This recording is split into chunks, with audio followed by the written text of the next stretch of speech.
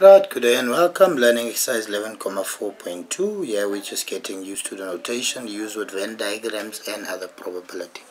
So, they have A and B, events A and event B. There the circle, you see the highlighted circle the section there. It's referred to as A intersection B.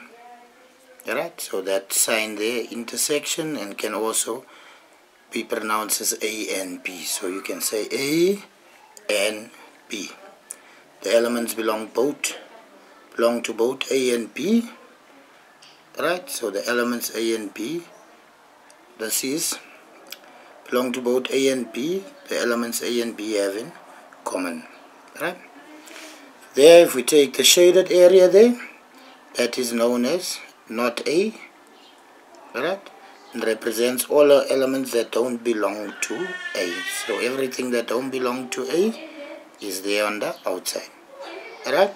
Now complementary events we would say the probability of A plus the probability of not A must always equal 1 or we can say probability not A equals 1 minus if I take that over probability A.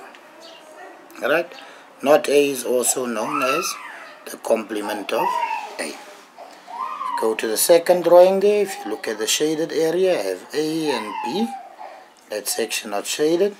This is known as A union B or probability A or B. So whenever we ask for probability union P, we would say probability of A, which would include this section here. Remember, it's everything in A, plus the probability P, which is everything in P, which include that section, minus the probability A and B. So effectively short root, if I say probability A or B, count everything in that shaded area for A, everything in that shaded region for B, and therefore you get A or B. So hope you follow, hope you understand. Right? I wish you nothing but success. Continue working, continue asking. The more you ask, the more I can help you. Right? All the best. Goodbye.